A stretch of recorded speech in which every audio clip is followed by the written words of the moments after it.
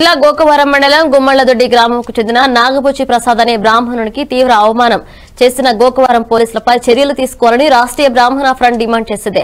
Case విచారణ కోసం పోలీసులు ప్రసాద్ను స్టేషన్ తీసుకొచ్చి ఎస్ఐ ఆధ్వర్యంలో ఓ కానిస్టేబుల్ అతడిని సెల్లో వేసి గాయత్రి స్వరూపంగా భావించే బ్రాహ్మణుడు మెడలోని యజ్ఞిపావితం తెంపేశారు. అలాగే అతని మొలతాడను తెంపేశారు. బ్రాహ్మణ సామాజిక వర్గానికి చెందిన వారు చనిపోయినప్పుడు శ్మశాన వాటికలో కాటి కాపరి మాత్రమే ఆ జంధ్యం తొలగిస్తారు.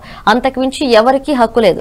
బ్రాహ్మణుడు యజ్ఞోపావితం తెంపిన సంఘటనలో యావత్ బ్రాహ్మణ జాతికి అవమానం చేసిన ఎస్ఐ కానిస్టేబుల్ పై చర్యలు తీసుకోవాలని కరప మార్కెట్ సెంటర్ నుంచి తహసీల్దార్ కార్యాలయం వరకు ర్యాలీ నిర్వహించారు. బ్రాహ్మణ జాతికి రాష్ట్రంలో వెంటనే. బ్రాహ్మణ జాతికి రాష్ట్రంలో వెంటనే. బ్రాహ్మణ జాతికి రాష్ట్రంలో వెంటనే.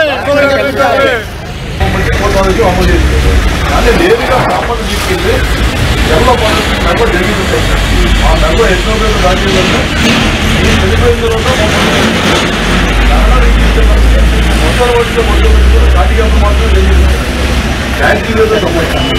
పోలీసులు ఏ విధంగా అది పట్టమనండి పోతే తెలుసుకున్నా కానీ జరిగింది అమ్మడం మనిషిని చంపిస్తుంది లెక్క.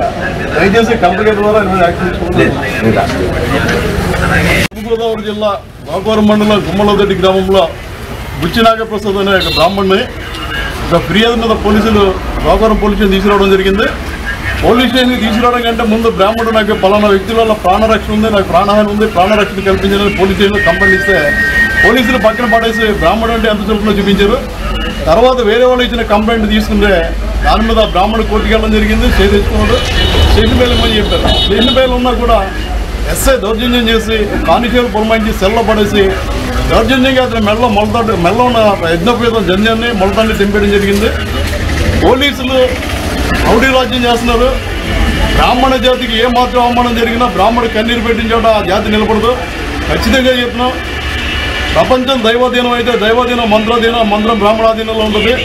సాక్షాత్ బ్రాహ్మణ మంత్రానికి దేవుడు కూడా కరిగి మనసులు ఇచ్చే కో- కోరికలు నెరవేర్చే వ్యక్తి. అలాంటిది ఏ బ్రాహ్మణ మీద అయితే చేస్తుందో అస్తే ఖచ్చితంగా పాపం అనుభవిస్తుందో.